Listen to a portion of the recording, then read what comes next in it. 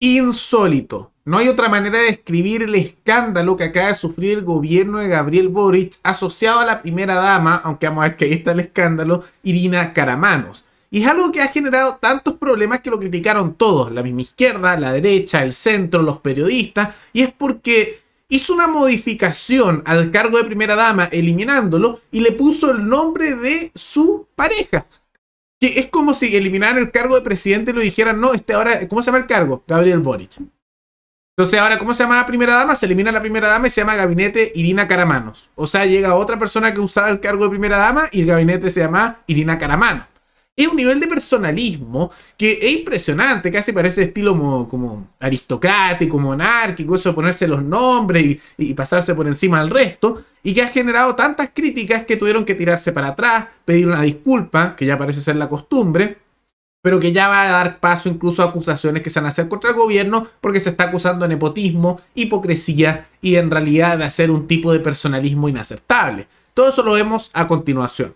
Pero antes, quisiera agradecerle a la suscriptora Ale, que se convirtió en la suscriptora más reciente en decidir hacer un aporte mensual al canal a través de la comunidad de YouTube. Así que muchas gracias, te lo agradezco mucho. Gracias a aportes como el tuyo y el de otros suscriptores que este proyecto sigue adelante y se mantiene independiente. Así que si alguno de ustedes quiere hacer un aporte voluntario único por Flow, o por criptomonedas, o un aporte mensual por Patreon, o por la comunidad de YouTube, pueden decir hacerlo mirando el comentario que se encuentra fijado abajo y también pueden apoyar este programa comentando, dando like y compartiendo este video en sus redes sociales.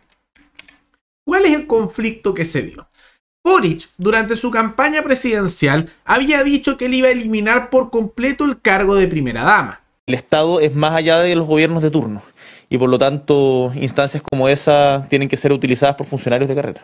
Sí, pero resulta que cuando llega alguien a la presidencia en, en condición de no tener pareja o soltero, eh, pasa lo que pasó con Michelle Bachelet, que fue, eh, que fue su hijo. Por eso nosotros vamos a, terminar, a, eh, abolir esa institución y generar una instancia que sea transparente, que esté en función de méritos y de carrera funcionaria y no de afinidad o relación sentimental con, o de sangre con el presidente o presidenta.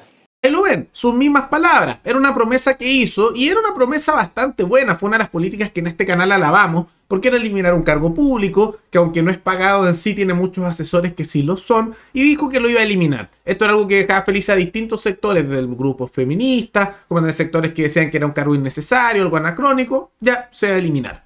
Se da una voltereta después, no lo elimina y pone a su pareja, a su polola, en el cargo como primera dama.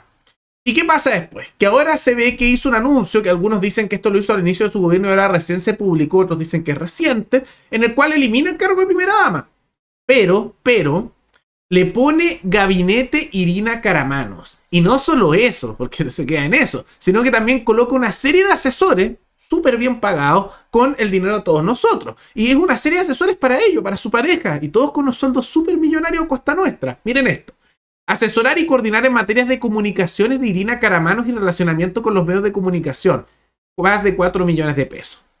Asesorar en materias comunicacionales a Irina Caramanos, otro asesor comunicacional, más de un millón de pesos. Asesorar en actividades del gabinete de Irina Caramanos. ¿Por qué necesita un gabinete? Más de 3 millones de pesos, 3 millones 350 mil para ser exacto. Asesorar en materias jurídicas relacionadas al gabinete de Irina Caramanos, 3.200.000. Todo esto es una persona distinta que le pagan estos sueldos. Asesorar en la coordinación de gabinete Irina Caramanos y sus relaciones públicas. Hoy, tantos asesores para lo mismo. 4.731.861 pesos. Y asesorar en comunicaciones estratégicas y contenidos a Irina Caramanos, 3.350.000. Hoy como que están repitiendo que hacen lo mismo sueldos millonarios para asesores. Lo más probable, porque son súper innecesarios esos asesores, que son puros nombramientos políticos o de amigos, o por pituto, por nepotismo.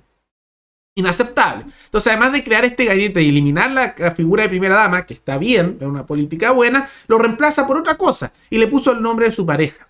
¿Y qué significaba esto? Que se acusó, que se acusó justamente esa situación.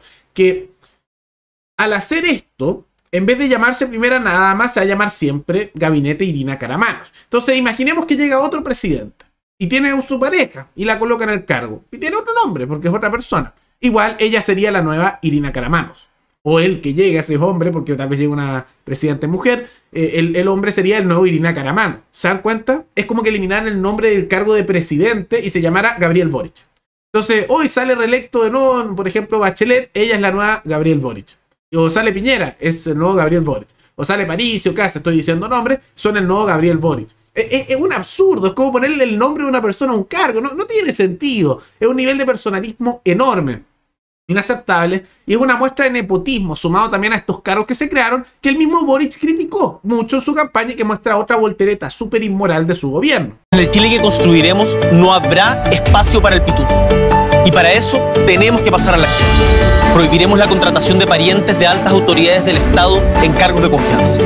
Sí, es de sentido común, pero usted y yo sabemos que eso no es lo que pasa hoy. Ahí ven las mismas palabras de Gabriel Boric tanto crítica contra el nepotismo y lo ha aplicado de manera sustancial en su gobierno, con los embajadores, con los nombramientos, puras personas que eran amigos, familiares de. También vemos muchos casos de que los que perdieron elecciones los ponen a dedo en cargos públicos y ahora vemos cómo pone el nombre de su pareja en un cargo público y, para que se mantenga en el tiempo y le nombra una serie de asesores que esto no lo hablan lo suficiente con unos sueldos millonarios pagados a costa nuestra.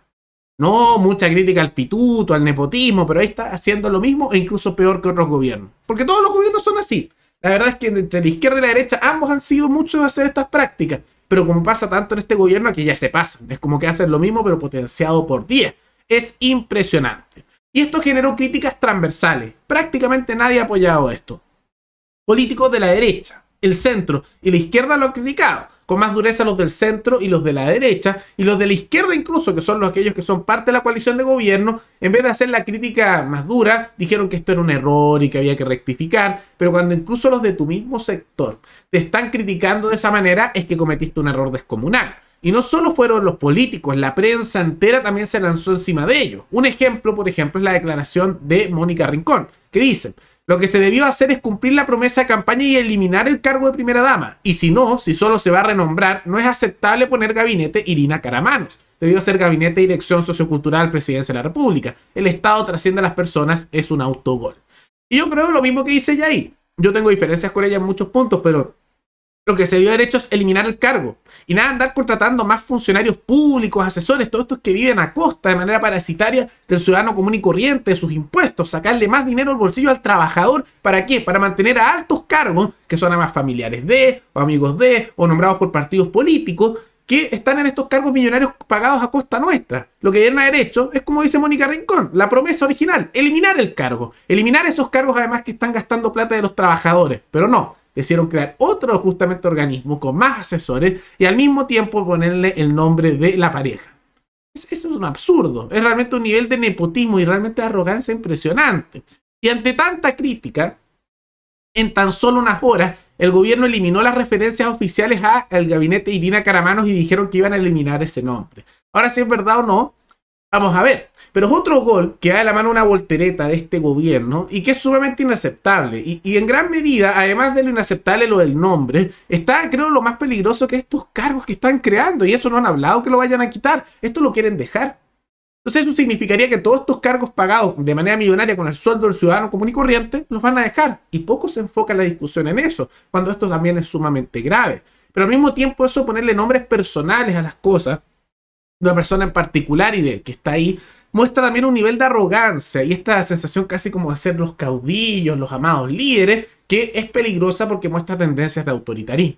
Pero ¿qué les parece esta situación? ¿Qué les parece el nuevo escándalo del gobierno de Gabriel Boric? Todo eso coméntenlo abajo. Y recuerden que pueden recomendar algún tema, alguna noticia, tanto de Chile como de otros países, para otro video. Nos veremos en el siguiente programa. Hasta luego.